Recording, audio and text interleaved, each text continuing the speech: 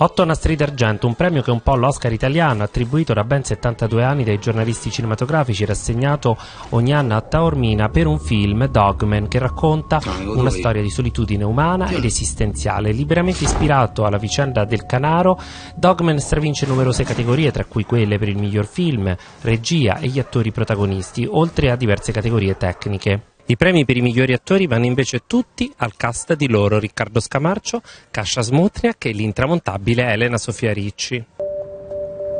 Emozionatissima in particolare Elena Sofia Ricci, la sua Angela di Che Dio ci aiuti, che qui è Veronica Lario in Berlusconi. È stato bellissimo. E poi ci sono delle cose magari sciocche, ma tipo Sorrentino come lo dice? Stop. Stop.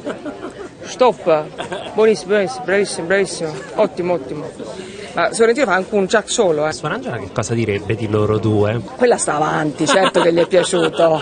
Adorato loro. Uno e loro due, tutto. Ho deciso che per interpretare Kira non l'avrei giudicata, però racconta una tipologia di donna che per me Kasia è stato difficile ehm, accettare. Io voglio sapere che vuole, tu fia dammi fio. Nella commedia stravince come un gatto in tangenziale Nastri per i suoi protagonisti, oltre che per il film. Ci riusciremo ancora a ridere di queste Eh, cose? Ridere, sai, ridere è una fortuna. Se questo paese riesce ad ancora avere delle isole fortunate o comunque dei- degli spazi liberi, allora sì. Però poi quando la realtà supera ogni forma di ironia o di comicità diventa difficile.